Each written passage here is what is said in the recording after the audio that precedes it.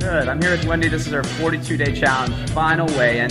Uh, Wendy, I want to know some of the things you struggle with prior to coming to the day challenge. Um, basically starting anything. I've tried walking, I've tried running, and always by myself. Never really had any success with it. So had some great friends prompt me, you know, hey, try this, and it's been amazing.